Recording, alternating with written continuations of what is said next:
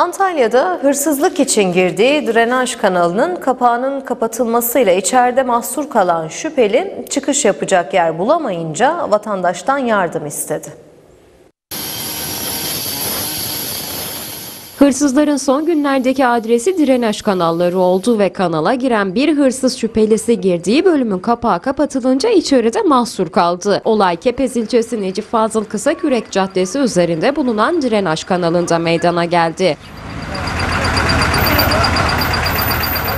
Hırsızlık için drenaj kanalına giren Kanice bir süre sonra girdiği yerden tekrar çıkmak istedi ancak kapağın kapatıldığını fark etti. Kanal içerisinde açık kapak aramaya başlayan Kanice bulamayınca umudunu kesip logara yaklaşarak vatandaşlardan yardım istedi. Uzak bir yerden girmiş, ta buraya kadar sürünerek gelmiş. En son burada açık bir yer görmüş, insanların geçtiği e, ses duymuş işte. Çocuğun birine seslenmiş. Çocuğa demiş bana su verin. Çocuk da gidiyor şu karşıdaki bir köle. Su alıyor diyor ki biz su verir misin? Birisi is- istiyor ama parası yok yani diyor. Alıp getiriyor suyu veriyor burada.